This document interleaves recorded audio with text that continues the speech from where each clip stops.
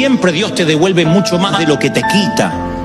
Y el hecho que hoy estés peleando grandes batallas es porque estoy seguro que Dios tiene una cosecha nueva para ti.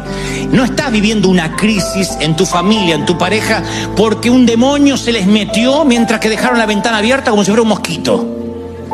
Tiene que ver con que Dios tiene que cortar cosas, actitudes.